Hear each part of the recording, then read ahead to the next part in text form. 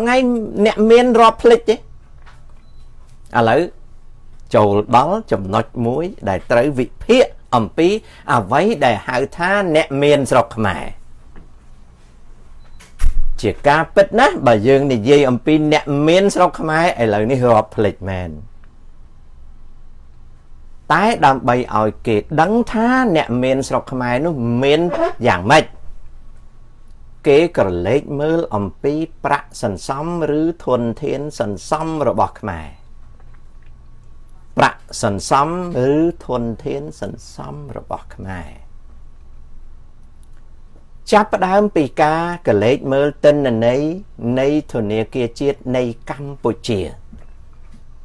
ចាប់ផ្ដើមពីការក្រឡេកមើលទិន្នន័យនៃធនាគារជាតិនៃកម្ពុជា ដំបូងត្រូវដឹងថាតើព្រះរាជាណាចក្រកម្ពុជាធនាគារកណ្ដាលនៃព្រះរាជាណាចក្រកម្ពុជាដែលហៅថាធនាគារជាតិនៃកម្ពុជានោះមានបើកបេឡាសន្សំឬទេពល គឺបងប្អូនអាចយកលុយទៅតម្កល់ក្នុងធនាគារជាតិនៃកម្ពុជាបានឬទេណា តាមខ្ញុំដឹងកន្លងមកធនាគារជាតិនៃកម្ពុជាជាធនាគារជាតិកណ្ដាលកំណត់ទិន្នន័យនិងនយោបាយរូបិយប័ណ្ណនិងហិរញ្ញវត្ថុតែមិនបើកធនាគារសម្រាប់ឲ្យបងប្អូនទៅតម្កល់លុយសន្សំនៅក្នុងធនាគារជាតិនៃកម្ពុជាទេអញ្ចឹងសួរថាតើប្រាក់សន្សំទាំងឡាយរបស់ប្រជាជនខ្មែរនៅក្នុងប្រជាណាចក្រកម្ពុជា ដាក់នៅក្នុងធនាគារណាយើងអាចដឹងភ្លាមបានថាធនាគារដែល ធនាគារដែលប្រជាជនខ្មែរយកលុយទៅតម្កល់ទុកសម្រាប់សន្សំគឺជាធនាគារឯកជន ដែលធនាគារឯកជននោះភាគច្រើន ជាធនាគារដែលមានបរទេសជាម្ចាស់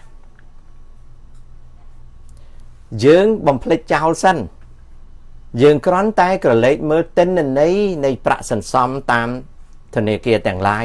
ដែលបានបំរើសេវាកម្មនៅក្នុងប្រទេសកម្ពុជាសិន យើងនឹងឃើញតួលេខនៃចំនួន ប្រាក់សន្សំរបស់ប្រជាជន ខ្មែរមានទៀបជាទីបំផុតដូច្នេះបើនិយាយពីប្រាក់សន្សំនៅក្នុងធនាគារប្រជាជនខ្មែរអត់មានច្រើនទេទៀបជាទីបំផុតសំណួរសួរទៀតថា បើប្រជាជនខ្មែរមានប្រាក់សន្សំទៀបជាទីបំផុតមិនក៏គេមានសម្បំម្លេះចម្លើយឆ្លើយថា ធនធានដែលខ្មែរមានសពថ្ងៃគឺពឹងទៅលើអចលនទ្រព្យពលគឺខ្មែរទាំងអស់នោះពឹងទៅលើការលក់ស៊ីលក់ចាយដោយលក់ដីលក់ធ្លីខ្មែរសពថ្ងៃមានចំនួនទេពណាស់ដែលមានមាសលក់យកមកហូបយកមកបរិភោគយកមកប្រើប្រាស់ខ្មែរចំនួនតិចបំផុតដែលមានពេជ្រនៅក្នុងនៅក្នុងខ្លួនសម្រាប់យកទៅលក់ ខ្មែរមានតិចបំផុត ដែលមានមាសមានប្រាក់យកទៅលក់ខ្មែរសពថ្ងៃមានតែដីទេដែលយកទៅលក់ហើយនឹងសំណង់លើដីដូច្នេះហើយតែដល់ចុងអត្រានៃការលក់ដូរនោះ ខ្មែរវាត្រូវអត់មានអីលក់ទេ ចំណែកឯរាជការពុកអលួយ និងបនពុកអលួយ ដែលតាក់ទងជាមួយរាជការគឺបំផ្លាញលក់ភ្នំលក់អីទាំងអស់ លក់ប្រេងនៅក្នុងបាតសមុទ្រលក់អូស្មန်ធម្មជាតិ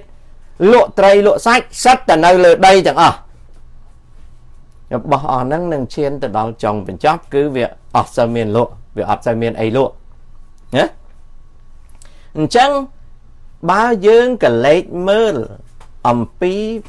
ណា you go there on okay បើយើងកលេចមើលអំពីប្រាក់សន្សំរបស់ ប្រជាជនខ្មែរទូទាំងប្រទេសប្រជាជនខ្មែរគ្មានប្រាក់សន្សំទេ ប្រជាជនខ្មែរឥតមានគេអាក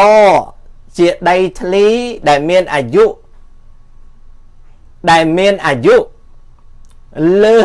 ស40ឆ្នាំទេណានៅពេលប្រទេសថៃឡង់ គេមានគេអកគេអាយុលើស100ឆ្នាំប្រជាជនខ្មែររួមទាំងព្រះមហាក្សត្រអត់មានគេអកអីនៅសល់លើសពី40ឆ្នាំទេ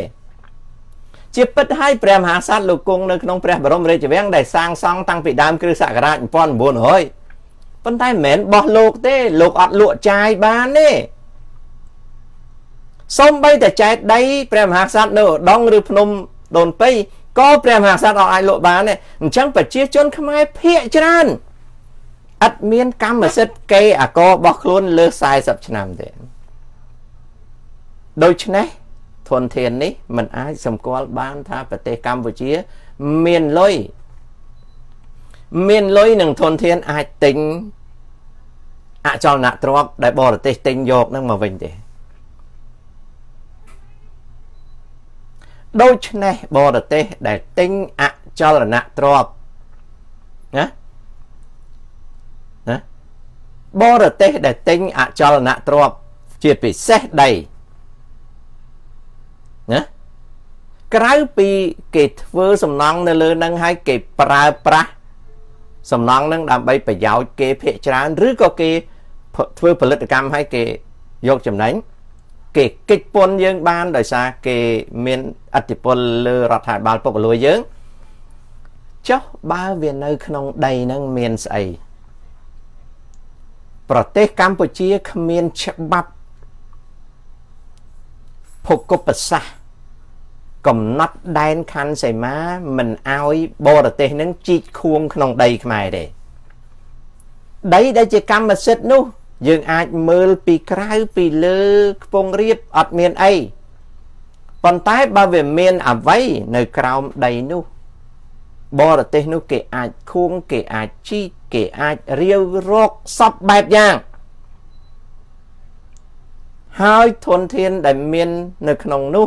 វាជាតម្លៃភគប់ប្រសាសដែលតម្លៃរ៉ែតម្លៃធនធានធម្មជាតិដែលនៅក្នុងដីនោះជំរឿប៉ុណ្ណាក៏ដោយលើកលែងតែជីកទៅវាលាយស្រុកខ្មែរគេជីកបានតាមចិត្ត ហើយដល់ពេលគេយកមកលើដីគេលក់យកលុយពីយើងឬក៏គេដាក់ចេញទៅស្រុកគេ ដោយបន្ថយពន្ធគ្មានថ្ងៃគេពំវិលដីនឹងមកឲ្យវិញទេណាកតាកំសោយនៃរដ្ឋខ្មែរនេះណាកតាកំសោយនៃរដ្ឋខ្មែរនេះ បង្កើតបាននៅកម្រិតគ្រោះថ្នាក់ដែលអត់នៅស្ងៀមទេកើនឡើងរហូតកើនឡើងរហូតអញ្ចឹងអ្នកមានកំអាលអអ្នកក្រកំអាលភ័យសភាពការជាក់ស្ដែងនៅកម្ពុជា អ្នកក្រចាំតែភ័យចំណែកអ្នកមានភាកច្រើនក៏ចាំតែភ័យមានអ្នកមានតែ2%ទេដែលអរហូត ហើយប្រភេទ2%នឹងនឹងរត់ចោលស្រុកនឹងរត់ចោលស្រុកពីព្រោះគេមានហួសណារួមទាំងសម្ដេចដៃជោហ៊ុនសែននិងព្រះមហាក្សត្រជាទីគោរពសក្ការៈគឺមានភ័យទាំងអស់រាជវង្សានុវង្សនៃព្រះជាណាចក្រកម្ពុជារួមទាំងព្រះមហាក្សត្រខ្លាយទៅជាខ្ញុំគេ សម្ដេចហ៊ុនសែននិងតកូលហ៊ុនគ្មានរត់រួចមួយទេពីព្រោះអីពីព្រោះបើតកូលហ៊ុនទៅនៅស្រុកក្រៅក៏ថ្ងៃក្រោយ អ្នកវិនិយោគអ្នកដែលជួយរត់ការលុយកាក់របស់តកូលហ៊ុនគេបោកយកអស់ពីព្រោះអីបានគេបោកតកូលហ៊ុនបានតកូលហ៊ុនទាំងអស់ហ្នឹងមានមានអ្នកឆ្លាតប្រមាណអ្នករួមទាំងលោកហ៊ុនម៉ាណែតក្មួយហ៊ុនម៉ាណែតដែលមានមហាបរិញ្ញាបត្រខាងសេដ្ឋសាស្ត្រ តាំងពីវិលទៅស្រុកវិញអត់ដែលប្រើចំណេះដឹងខ្លួនទេហ៊ុនម៉ាណាដែលជាមហាសេដ្ឋីនីនៅប្រជាណាចក្រកម្ពុជាអត់ចេះគិតលុយទេ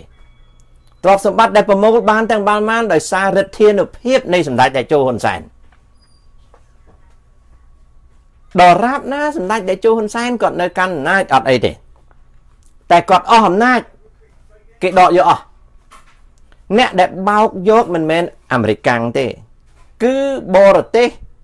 ដែលគេជាភ្នាក់ងារសម្រាប់រត់ការលុយកាក់ឲ្យតកូលហ៊ុនយើងមើលប៉ាប៉ាឌុកនៅហេទីអញ្ចឹងឯងដែលជាជនផ្ដាច់ការនៅហេទីដល់ពេលបាត់បង់អំណាចណា កុំតែបានការគ្រប់គ្រងពីប្រទេសបារាំងទេប៉ុន្តែធនធានរបស់គ្រួសារតកូលប៉ាប៉ាឌូកហ្នឹងគេយកសឹងអស់ម៉ាកុសធនធានរបស់ម៉ាកុសនៅសល់ដោយសារលោកជំទាវម៉ាកុសជាមនុស្សឆ្លាតវៃមានចំណេះដឹងជាងលោកសម្ដេចអឺព្រឹទ្ធបណ្ឌិតប៊ុនរ៉ានី អេមេដាម៉ាកុសចេះដឹងជាងឆ្ងាយណាស់យល់កិច្ចការច្រើនណាស់បើប្រៀបធៀបទៅនារីទី1ឬស្ត្រីទី1លោកជំទាវទី1នៅប្រទេសកម្ពុជាអត់ទាន់មានណាចេះប្រហែលប្រពន្ធម៉ាកុសផងបន្ទាប់មកទៀតយើងមើលតកូលសូហាតូអស់លីងប្រហែលពាន់លានក៏អស់ដែរដោយសារអីដោយសារសូហាតូងាប់ទៅ កូនចៅទាំងអស់ល្ងង ជាពិសេសកូនប្រុសសូហាតូមានបានសល់អីគេយកអស់ហើយណាតកូលដតីដតីទៀតដូចជាតកូលបាក់ចុងហើសំបីតកូនស្រីបានឡើងធ្វើប្រធានបតីក៏គេចាំដាក់គុកដែរណាពួកមេដឹកនាំផ្ដាច់ការនៅអាព្រិកពេលដួលរលំពីអំណាចប្រជាជននៅក្នុងប្រទេសអាព្រិក ដែលរងទុក្ខវេទនាអត់ប្រមូលលុយបានមកវិញទេលុយហ្នឹងពួកស្បែកសយកអស់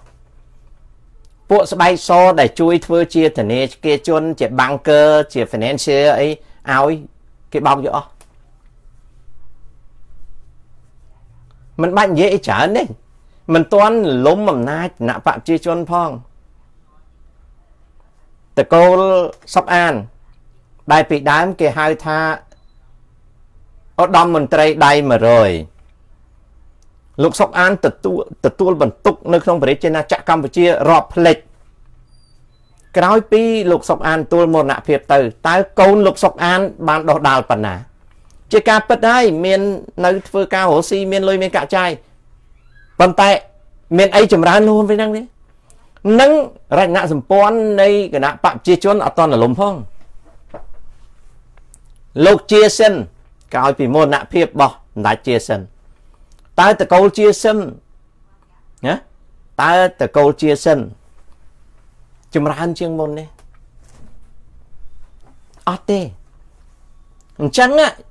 អ្វីដែលខ្ញុំបាទលើកយកមកនិយាយនេះមិនមែនសម្រាប់ថ្កោលទោសទេ គឺសម្រាប់រកវិធីមួយឲ្យខ្មែរយើងនឹងរៀនសម្បទានរៀនចែករៀនមេត្តាកណា គ្នាផងណាឥឡូវហ្នឹងយើងយើងយើងចុះមកមកឋានៈទៀតអុកញ៉ានៅប្រជាណាចក្រកម្ពុជារាប់ផ្លេចអុកញ៉ាគឺជាចំណែកមួយនៃសេដ្ឋីនិងសេដ្ឋីនីនៅក្នុងប្រទេសកម្ពុជាណាយើងឃើញហើយដូចជាអុកញ៉ាម៉ុងរិទ្ធីដែលគាត់មានដីច្រើនណាស់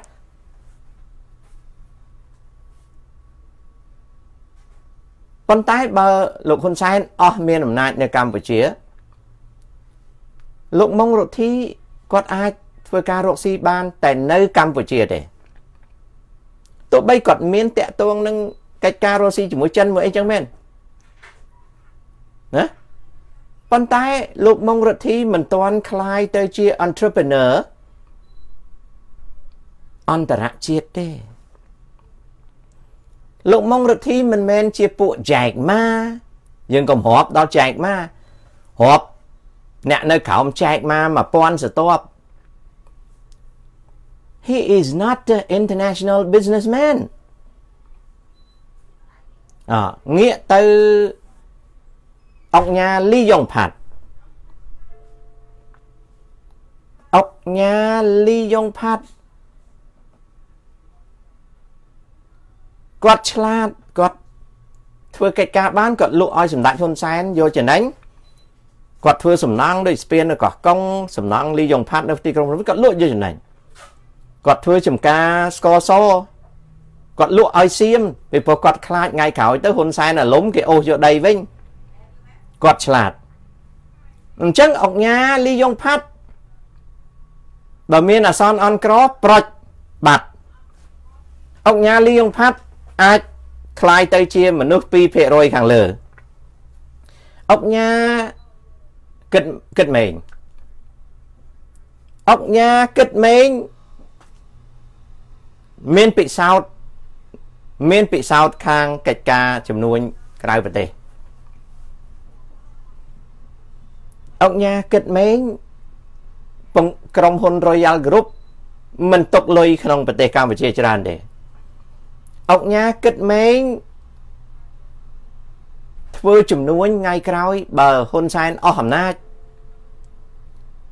ឬក៏គេរករឿងអង្គញាគិតម៉េងអង្គញាគិតម៉េងពំវិលលុយចាញ់ណា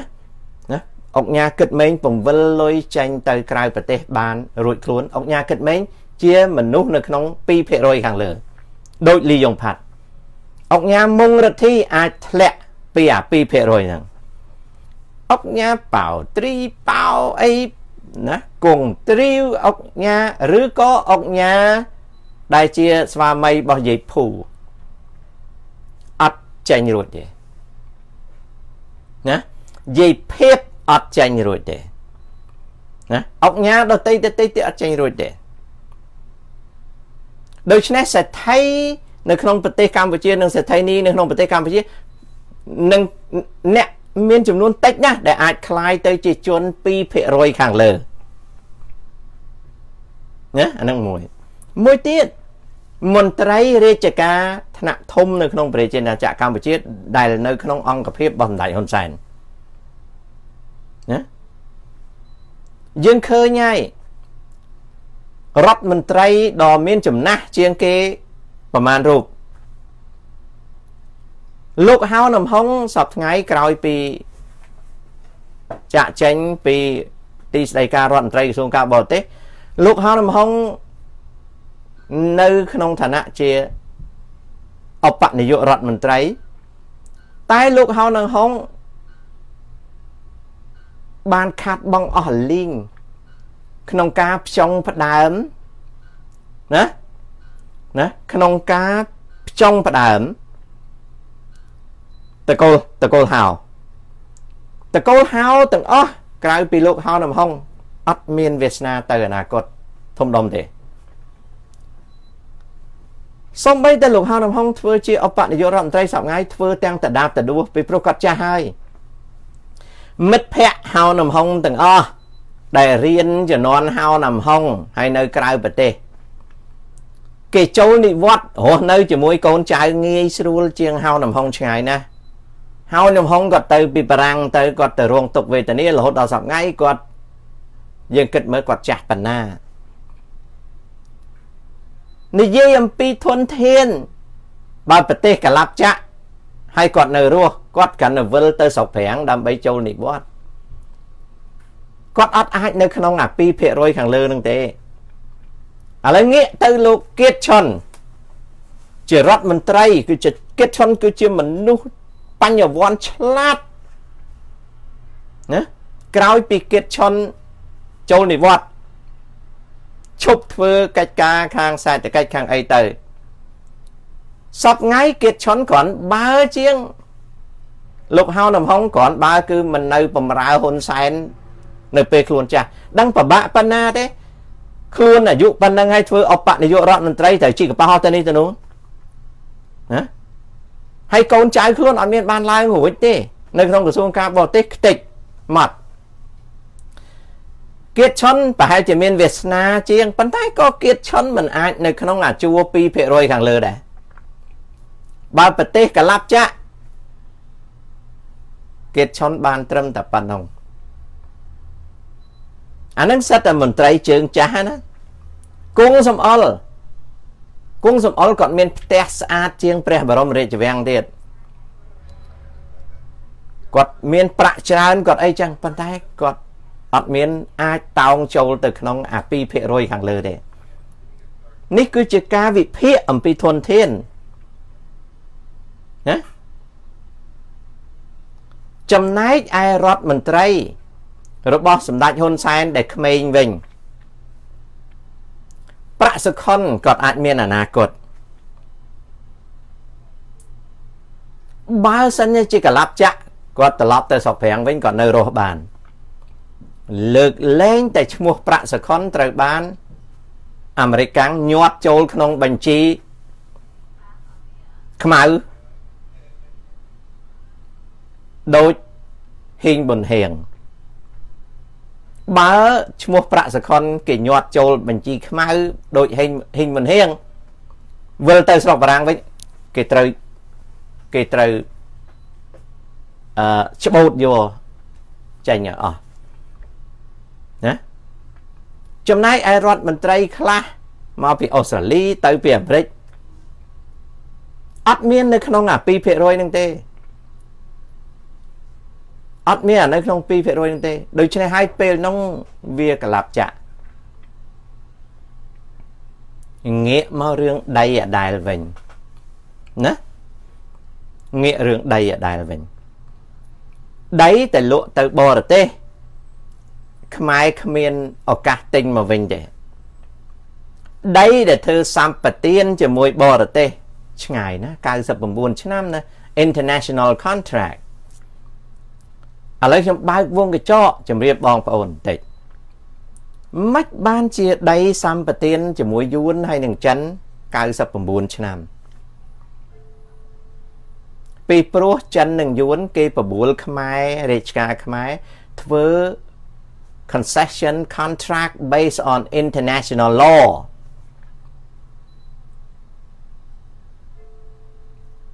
គឺគេយក99ឆ្នាំជាធរមានណា អូអឺរ៉ូមីអូ2%ហ្នឹងគេហៅថាជាមនុស្ស2%ដែលអាចគេចពីការរលំរលាយបាន មនុស្ស2%ដែលអាចគេចអំពីគ្រោះថ្នាក់បាន ជាទីបំផុតនៅពេលដែលស្រុកខ្មែរជួបប្រទះបញ្ហាខ្ញុំនៅប្រទេសថៃឡង់គេមានចំនួនអ្នកកិច្ចរួចនឹងវាច្រើន ចំណែកប្រទេសកម្ពុជានៅមានអ្នកដែលកិច្ចរួចពីភៀវសង្ឃរាតែ2%ទេណាអញ្ចឹងខ្មែរអត់មានដីអត់មានធនធាន ជនជាតិខ្មែរអត់មានធនធានទៅទិញដីយកមកវិញទេ វាផ្ទុយគ្នាពីនៅអាមេរិកអាមេរិកកាំងគេលក់ឲ្យជប៉ុនលក់ខ្ទេចលក់ខ្ទីដល់ក្រោយមករដ្ឋគេកុងត្រូលហាងឆេងដល់ ពេលជប៉ុនវាត្រូវការលុយដកទៅវិញអាហាងឆេងផ្ទះហាងឆេងដីនៅហាងឆេងដីនៅហាវ៉ៃហាងឆេងសំណង់អីអីថាវាដាំដូងជប៉ុនទិញ1000លក់បាន300ទៅវិញដឹងអាមេរិកកាំងចំណេញប៉ុណ្ណាទេជនជាតិអាមេរិកកាំងគេមានលុយឲ្យស្រេចជប៉ុនចង់ដកលុយ គេទិញពឹបជប៉ុនចង់ដកលុយគេទិញពឹបជប៉ុនចង់ដកលុយទិញពឹបប៉ុន្តែពេលជប៉ុនទិញ1000ដល់ពេលអាមេរិកកាំងទិញយកវិញតែ300ទេបរទេសនៅកម្ពុជាវាអត់លក់អញ្ចឹងទេបើវាទិញ1លានតើយើងទិញវា2លានពីព្រោះប្រទេសវាមកជន់ស្រុកយើងដាក់បានទេបើចិនបង្កើតផ្សារកំពង់សោមជា China Town ឬក៏ជាម៉ាកាវទី2ខ្មែរ អត់មានលុយទៅទិញយកកន្លែងចិននៅនឹងបានទេបើចិនបង្កើតនៅកោះកុងជាឆៃជា China Town កោះកុងខ្មែរគ្មានលុយទិញទេអូខេដូច្នេះដីដែលសម្បទានជាមួយនឹងចិនជាមួយនឹងយួនគឺគ្មានថ្ងៃឧទាហរណ៍ដីរាប់ម៉ឺនអេកតាដែលរាជការហ៊ុនសែនសម្បទានជាមួយនឹង វៀតណាម Rubber Group VNRG ណា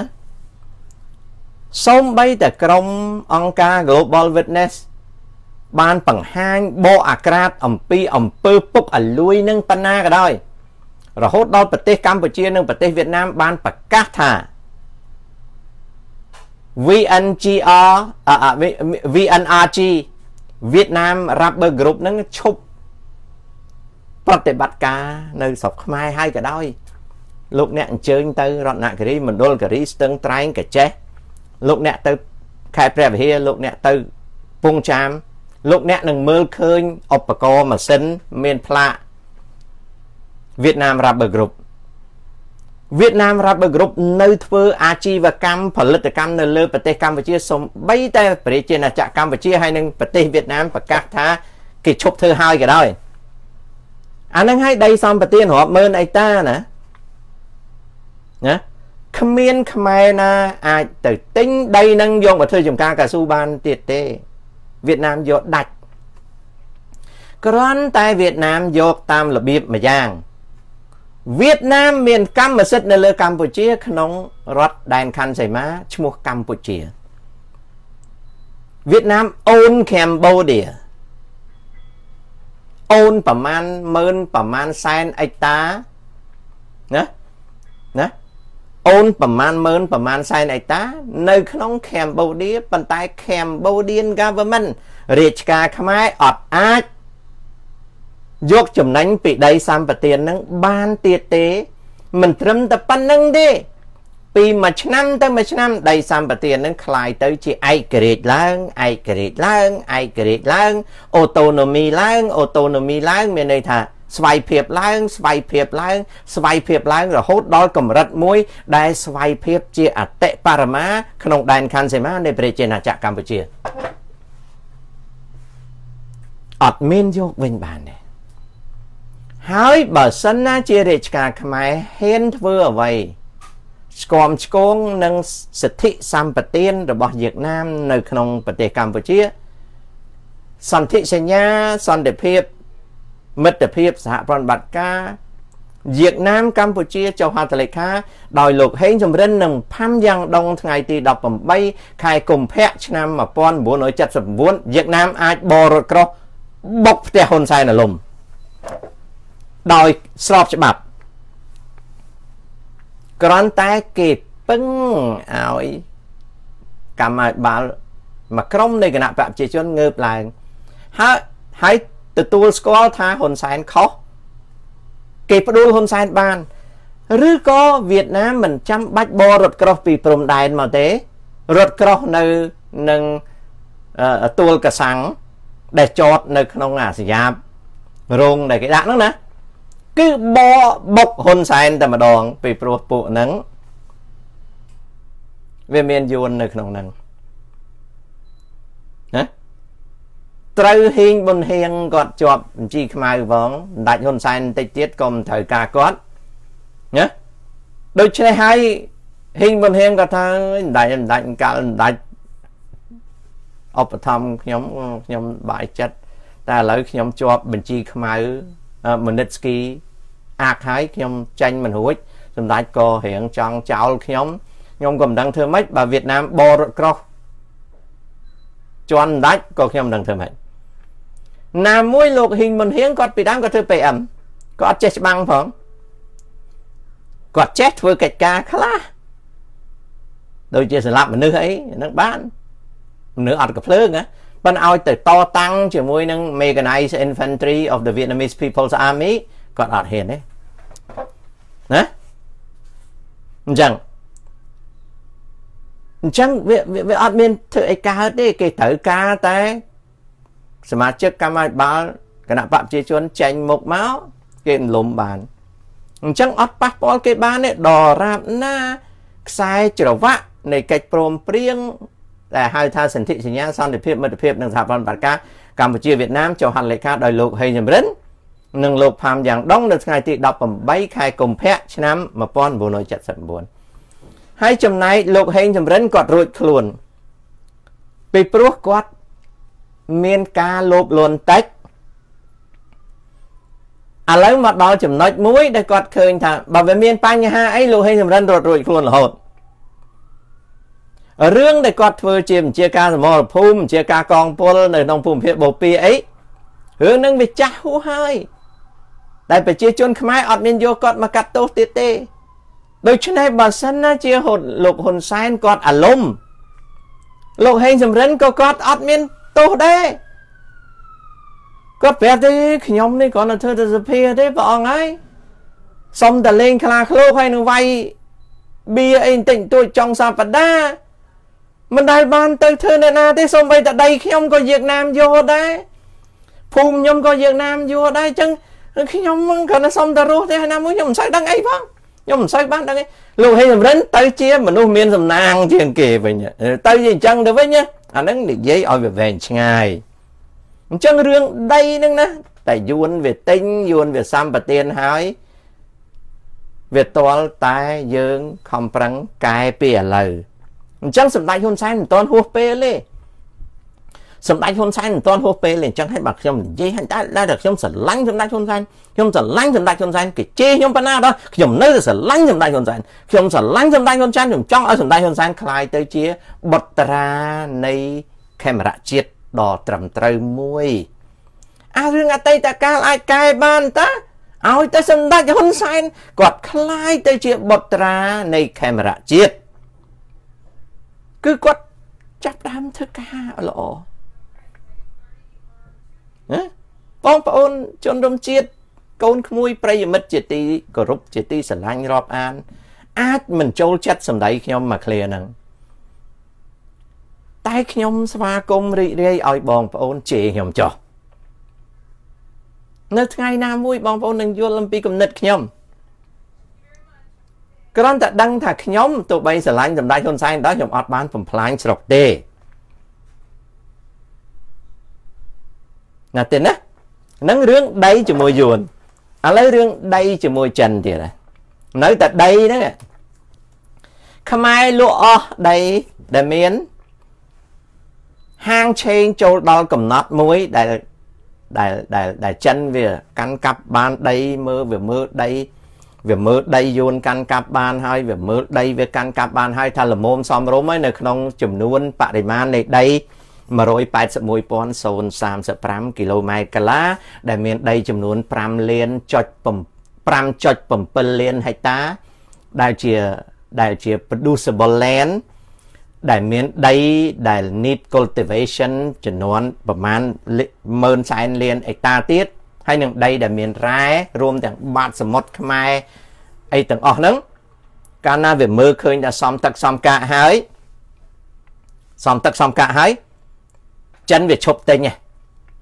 ណាចិនវាឈប់ទិញយួនក៏វាឈប់ទិញដែរពីព្រោះនៅក្នុងហាងឆេងហ្នឹងចិននិងយួនគេឆ្លោះគ្នាមែនប៉ុន្តែគេបែងចែកផលប្រយោជន៍នៅកម្ពុជាខុសៗគ្នាអញ្ចឹងនៅពេលហ្នឹងឈ្មួញយួនក៏គេឈប់ទិញ ឈ្មួញចិនក៏គេឈប់ទិញហាងឆេងដីហ្នឹងវាស្រកចុះវឹបវឹបវឹបវឹបអញ្ចឹងអ្នកណាដែលទិញយឺតក្រោយក៏ខាតអ្នកណាដែលលក់អស់ចំណេញប៉ុន្តែលែងមានអារម្មណ៍ទិញដីថែមមកទុកលក់ឲ្យបរទេសហើយពីព្រោះបរទេសវាទម្លាក់តម្លៃមកវិញណាអាហ្នឹងគេហៅ curve ណាដល់ពេលវាទម្លាក់តម្លៃមកវិញ អ្នកក្រដែលបាត់បង់ដីហ្នឹងអត់មានលុយទិញអាដីហ្នឹងមកវិញទេអ្នកណាដែលទិញដីហើយក៏ទ្រាំខាតទៅ ចំណែកអ្នកដែល2%ខាងលើគេអត់ខាតទេពីព្រោះគេអង្គុយមើលសភាពការទីផ្សារអញ្ចឹងអ្នកដែលខាតនៅក្នុងអនាគតគឺឈ្មួញតូចតាចដែលគិតឃើញថាដីកំពុងឡើងថ្លៃណាអាហ្នឹងគេហៅ mill ណា mill level flippers ណាអានោះនៅគ្រប់ប្រទេសទាំងអស់ខាតទាំងអស់ថៃឡង់ឥណ្ឌូនេស៊ីម៉ាឡេស៊ីអាមេរិកដែលអត់យល់ទីផ្សារអត់យល់ចរន្តណាពីព្រោះមើលមិនតាន់មើលមិនឃើញអាហ្នឹងគេហៅ mill investors ណាអា premium investors អា prominent investor វា make money រហូត ដូចនៅស្រុកអាមេរិកចឹង William Buffett company វាមិនដែលចេះខាតទេណាវាមិនដែលចេះខាតទេណាប៉ុន្តែ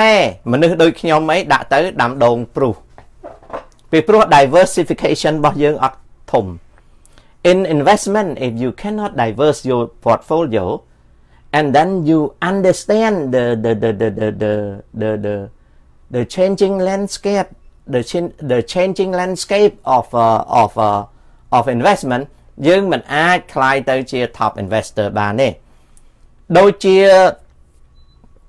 George Soros គាត់អត់ចេះខាតទេរហូតដល់គាត់ងាប់20ជាតិក៏គាត់អត់ចេះខាតដែរ George Soros ដែលមានចលនាមួយឈ្មោះហៅថា អីអឺស្អីគេហៅស្អីអឺ ខ្ញុំភ្លេចឈ្មោះទៅគាត់អាចវាយធនាគារអង់គ្លេសដួលបានលុយរាប់ពាន់លានគាត់អត់គាត់អាចវាយរូបិយប័ណ្ណនៅក្នុងធនាគារចិនដួលយករាប់ពាន់លានគាត់អាចធ្វើឲ្យអាស៊ីអាគ្នេយ៍ទុនជង្គង់ឲ្យគាត់ប្រមូលលុយរាប់ពាន់លានពីព្រោះគាត់ជា George Soros ចំណែក Warren Buffett សពថ្ងៃនេះគាត់អាយុប៉ុណ្ណឹងហើយ គាត់បរិច្ចាគលុយរាប់ពាន់លានចេញទៅប៉ុន្តែគាត់ចំណេញលុយរាប់ពាន់លានចូលមកវិញគេហៅថា give and take ណានៅស្រុកខ្មែរអត់ទាន់មានកម្រិតហ្នឹងទេបាទណាស្រុកខ្មែរអត់ទាន់មានកម្រិតហ្នឹងទេ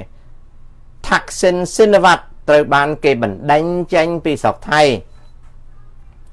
ហើយគេរឹបអូសយកទ្រព្យសម្បត្តិប៉ុន្តែ Thaksin Shinawatra គាត់អត់ខាតទេពីព្រោះគាត់មានលុយទៅទិញក្រុមកីឡាអីនៅក្រៅស្រុកមហាសេដ្ឋីខ្មែរអុកញ៉ាខ្មែរអត់ទាន់ចូលកលិបនឹងទេមហាសេដ្ឋីខ្មែរសប្តាហ៍ថ្ងៃនេះ ចំណេញកប់ក្តោង បានដោយសារការទ្រព្រះសុទ្ធនឹងខុសគ្នាណាបងប្អូនខុសគ្នាវាជាលក្ខណៈខុសគ្នា អញ្ចឹងនៅពេលដែលចិនវាទិញដីល្មមហើយយួនវាទិញដីល្មមហើយវាទម្លាក់ហាងឆេងដីឈ្មួញកដាលខ្មែរយើងនឹងខាតបងទ្រព្យធនអ្នកដែលធានាថាខ្លួនមានលុយប្រហែល2លានទៅ10លានដុល្លារនៅក្នុងអចលនទ្រព្យ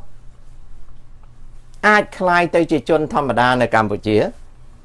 ដែលជនធម្មតានៅកម្ពុជានឹងតដរស់ដូចគ្នានឹងអ្នកឆ្លាតហើយនៅមានផ្ទះល្វែងនៅមានវិឡានៅប៉ុន្តែរឿងអួតអាងថាបញ្ជូនកូនចេញមករៀនក្រៅស្រុកអី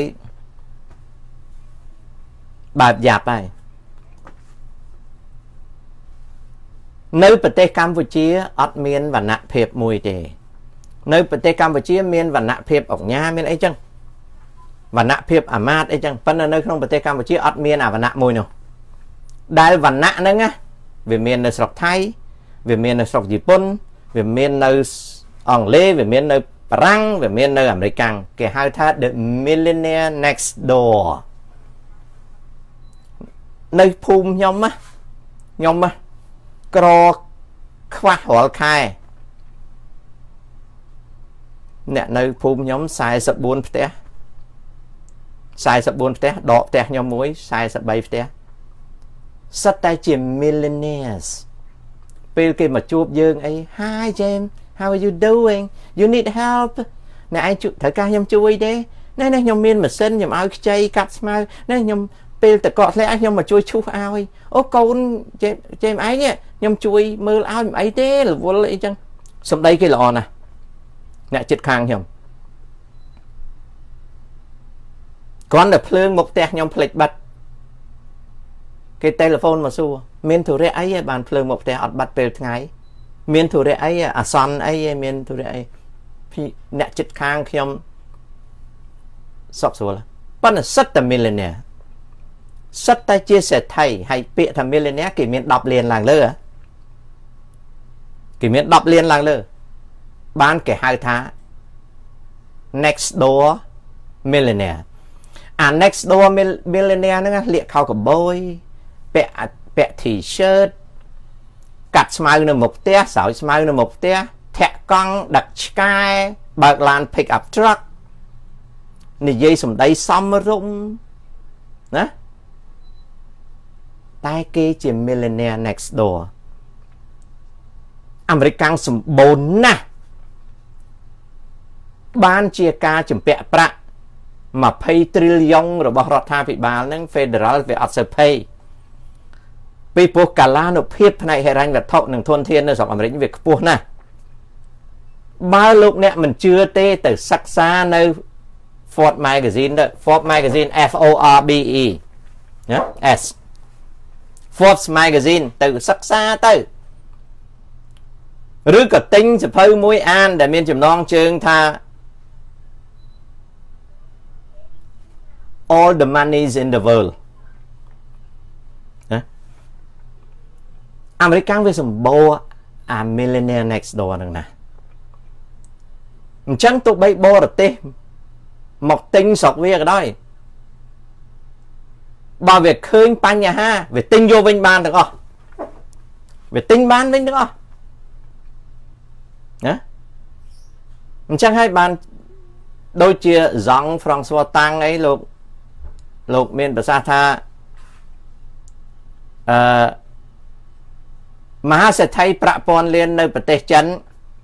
ច្រើនជាងក្រុងញូវយ៉កអើបើរាប់ត្រឹមក្រុងញូវយ៉កវាពិតហើយច្រើនជាងនោះណាមិនក៏មិនយកអាប្រទេសចិនទាំងមូលហ្នឹងមកប្រៀបធៀបចំនួនសេដ្ឋីពាន់លាននៅអាមេរិកមើលតើសេដ្ឋីពាន់លាននៅប្រទេសចិនក្នុងមនុស្ស1000នាក់ អឥឡូវចាត់ទុកចេះក្នុងមនុស្សមនុស្ស10លាននាក់តើមានសេដ្ឋីប្រមាណបានយើងដឹងអញ្ចឹងបើសិនជាយកក្រុងយកសេដ្ឋីចិនមកប្រៀបធៀបនឹងក្រុងញូវយ៉កអាហ្នឹងតូចណាក្រុងញូវយ៉ក8លានតាក្រុងញូវយ៉ក8លានអ្នកតាមនុស្សបើក្រុងញូវយ៉កមានសេដ្ឋីពាន់លានតែ4នាក់ក៏គេចាត់ទុកថាខ្លាំងទៅហើយ ពីព្រោះប្រទេសថៃឡង់មុនឆ្នាំ96មានសេដ្ឋីពាន់លាន11នាក់ដល់ក្រោយឆ្នាំ96 97 98សេដ្ឋីពាន់លាននៅប្រទេសថៃឡង់ធ្លាក់នៅសល់7នាក់យល់ទេបើប្រៀបធៀបទីក្រុងហុងកុងនិងទីក្រុងកួងតុងសេដ្ឋីនៅទីក្រុងហុងកុងច្រើនជាងសេដ្ឋីនៅ កួងតុង បើប្រៀបនឹងក្រុងកួងតុងនិងក្រុងសាំងហៃសេដ្ឋីកួងតុងសេដ្ឋីសាំងហៃតិចជាងសេដ្ឋីហុងកុងយល់ទេខ្ញុំបើលោកអ្នកចង់ដឹងរឿងហ្នឹងមើលសភៅមួយគេហៅថា Billionaire Club of Asia Billionaire Club of Asia បន្ទាប់មកទៀតត្រូវដឹងពីតម្លៃនៃសេដ្ឋីសេដ្ឋីស្រុកអាមេរិក វាមានបញ្ហាតែមួយទេជំពាក់ពន្ធដាររដ្ឋសេដ្ឋីណាក៏ដោយនៅអាមេរិកបញ្ហារបស់សេដ្ឋីមិនមែនរឿងអក្រិតកម្មទេសេដ្ឋីនៅអាមេរិករឿងដែលធំរបស់សេដ្ឋីមួយមួយគឺចម្ពាក់ចម្ពាក់ឬបងពុនមិនទាន់គ្រប់ត្រូវផាកពិន័យឬក៏ត្រូវបងថែមចំណែកសេដ្ឋីស្រុកខ្មែរអត់ភ័យខ្លាចបងពុនទេ ពីព្រោះសេដ្ឋីស្រុកខ្មែរមានប្រព័ន្ធរាជការពុកអលួយរបស់ហ៊ុនសែនមិនបាច់បងពុនប៉ុន្តែបើនិយាយអំពីសេដ្ឋីស្រុកខ្មែរថាសេដ្ឋី100លានស្មើនឹងសេដ្ឋី100លានអាមេរិកសេដ្ឋី100លានខ្មែរត្រូវការ24ម៉ោងឡើងនឹងស្រកមានន័យថា24ម៉ោងឡើង100លានទៀតឬ24ម៉ោងចុះនៅ0លាន0 0ដុល្លារ ពីព្រោះសេដ្ឋីនៅស្រុកខ្មែរជាសេដ្ឋីត្រួតព្រះសុទ្ធអាហ្នឹងយើងដាក់ឈ្មោះឲ្យស្រួលស្ដាប់ គឺតាក់ទងនឹងរាជការពុកអលួយដើម្បីធ្វើសេដ្ឋីចំណែកសេដ្ឋីនៅអាមេរិកវា100លានវាមានបញ្ហាតែមួយទេគឺបញ្ហាពន្ធដារសេដ្ឋីនៅស្រុកខ្មែរអាចគេចាប់ដាក់គុកស្អែកឬយប់នឹងសេដ្ឋីនៅស្រុកអាមេរិកអត់មានអាណាចាប់វាដាក់គុកទេសេដ្ឋីចែកម៉ា ដែលជាប្រាក់ពាន់លាននៅប្រទេសចិនអាចត្រូវជីសិនពេញចាប់ដាក់គុកប៉ុន្តែដូណាល់ត្រាំដែលគេចោតប្រកាន់ប៉ុណ្ណាក៏ដោយក៏មិនជាប់គុកដែរអានឹងហើយគេហៅថាសក្តានុពលនិងកិត្យានុគលភាពនៃសេដ្ឋីអញ្ចឹងហើយយើងត្រូវដឹងអំពីរឿងទឹកដីរបស់យើង ណាយើងដឹងអំពីរឿងទឹកដីយើងឲ្យម៉ត់ចត់មែនទែនបន្ទាប់មកទៀតសេដ្ឋីនៅអាមេរិកគេបរិច្ចាគឲ្យពិភពលោកចំណែកសេដ្ឋីខ្មែរបរិច្ចាគត្រឹមគុណធៈបុផាបរិច្ចាគត្រឹមផ្ទះទេវតាបរិច្ចាគត្រឹមមូលនិធិគុណធៈបុផាមូលនិធិស៊ីក្លូឥឡូវស៊ីក្លូបោះឆ្នោតហើយចាំមើលស៊ីក្លូ ធាក់បាច់ញើសសម្ដេចហ៊ុនសែនអត់មកធាក់ជាមួយទេអានាងអើយពីព្រោះសម្ដេចហ៊ុនសែនគាត់ឈ្នះឆ្នោតហើយណានឹងឲ្យយល់ណាសេដ្ឋីនៅស្រុកខ្មែរ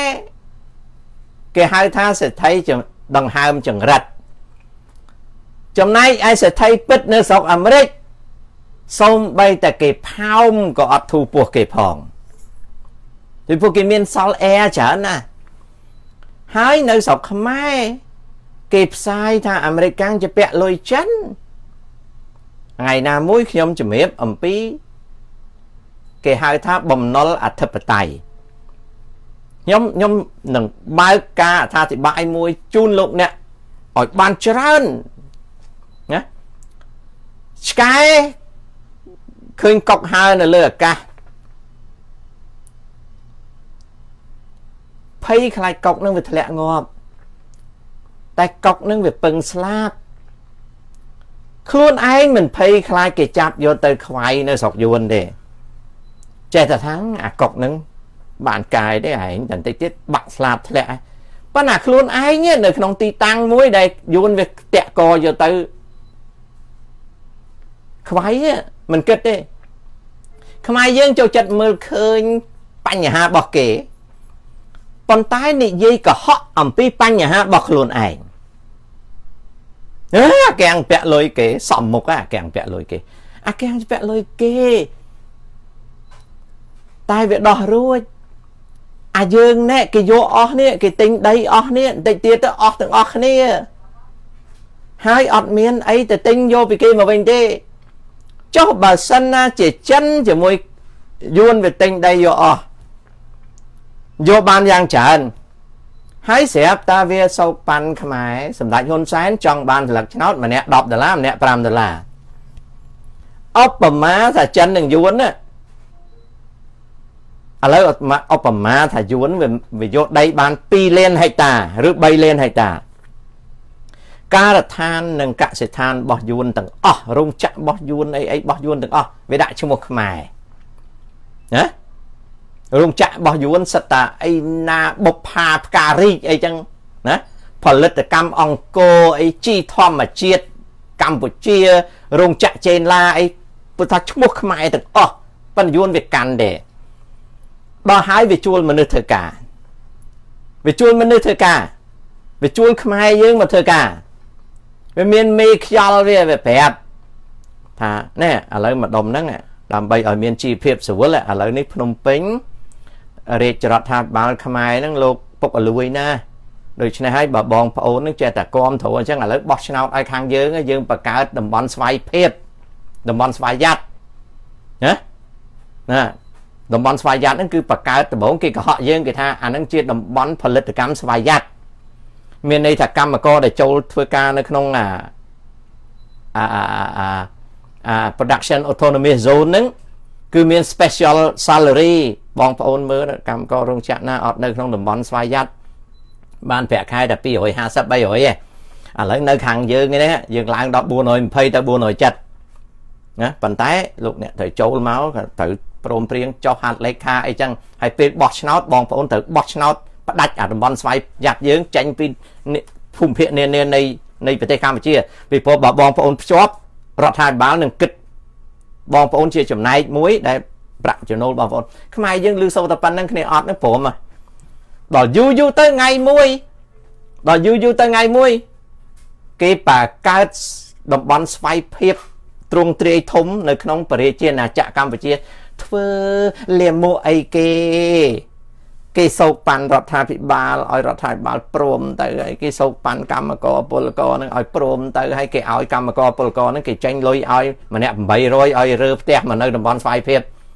តំបន់ស្វ័យភាពមានផ្លូវមានភ្លើងអគ្គិសនីថោកជាងតំបន់ពុកអលួយហ៊ុនសែនម្នាក់ម្នាក់ទៅនៅអាតំបន់ស្វ័យភាពនឹងអស់យូរយូរទៅប្រជាជនតំបន់ស្វ័យភាពនឹងវាច្រើនល្មមសំរុំនឹងគេបោះផ្ដាច់ផ្ដាច់ផ្ដាច់ខាងចិនក៏គេធ្វើអញ្ចឹងទៅទៅណាបើខ្មែរយើង5ដុល្លារក៏សុខចិត្តបោះឆ្នោតឲ្យណាហើយហ៊ុនសែនស៊ីខោងតែរហូតដូចឧទាហរណ៍អញ្ចឹងបោះឆ្នោតឲ្យហ៊ុនសែនហ្នឹងហ៊ុនសែននៅតែស៊ីខោង ណាអឺកាលដែលប្រាក់ខែ170ដុល្លារបងប្អូនកម្មករកម្មការិនីនៅតែហូបបាយជាមួយនឹងលៀហាលហើយនឹង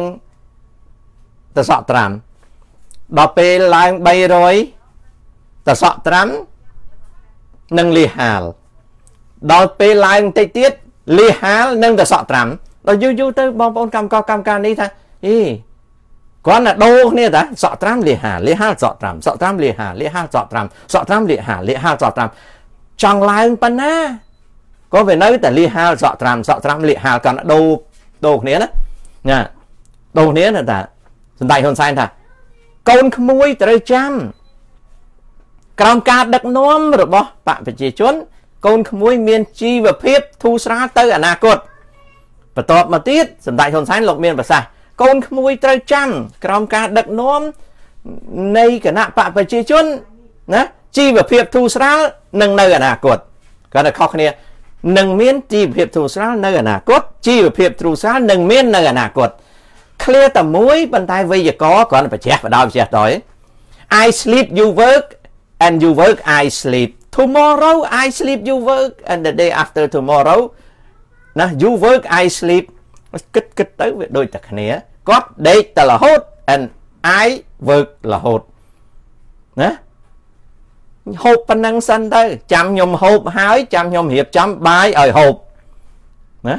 ខ្ញុំនឹងរៀបចំបាយឲ្យហូបណាហូបអានឹងសិនទៅវាខុសគ្នាអី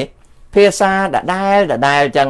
បានថាសាមសេអណាសូណាលេកាចកបលសាមសេអណាសូណាលេកា 3ឆ្នាំក្រោយមកប្រាក់ខែឡើងប៉ុន្តែតសក់ត្រាំហើយនឹងលះហាលដដែល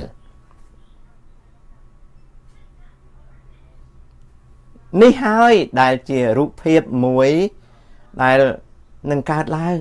កំពុងកើតឡើងណាអានឹងវាអញ្ចឹងណាណាវាអញ្ចឹងវាវាវាជាលក្ខណៈមួយដែលយើងគួរចាប់អារម្មណ៍ឲ្យបាន បាទយើងគួរចាប់អារម្មណ៍ឲ្យបានណា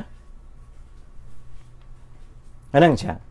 អញ្ចឹងជាជាលក្ខណៈមួយដែលយើងគួរចាប់អារម្មណ៍ឲ្យបានអញ្ចឹងលោកអ្នកលោកអ្នកគិតមើលរឿងដីនេះណាណាអ្នកមានកុំអាលអអ្នកក្រកុំអាលភ័យខ្ញុំថាអ្នកក្រភ័យតែរហូតហើយអ្នកមានក៏ត្រូវតែភ័យដែរណាអ្នកមានក៏ត្រូវតែភ័យដែរ ពីព្រោះណាពីព្រោះណាពីព្រោះវាជាអនាគតនៃប្រទេសយើង ពីព្រោះវាជាអនាគតនៃប្រទេសជាតិយើង ចំណែកអ្នកដែលមានលទ្ធភាពណាចំណែកអ្នកដែលមានលទ្ធភាព អាចកិច្ចរួចតែ2%ទេមិនមែនថាកិច្ចមិនរួចទេប៉ុន្តែតែ2%ទេ អញ្ចឹងជា passion ណាជាសេចក្តីនឹកដល់មេត្តាភូមិខ្ញុំបាទសុកសគុណលើកយករឿងនឹងមកមិនមែនមកនិយាយបង្អាប់សម្ដេចហ៊ុនសែនឬក៏បង្អាប់អស់លោក ដែលមានជាងខ្ញុំនៅស្រុកខ្មែរទេខ្ញុំនេះវាក្រហើយតែខ្ញុំចង់និយាយដោយសេចក្តីរីករាយមានមេត្តាករុណាឆ្ពោះទៅកាន់អុបេក្ខា ណាណា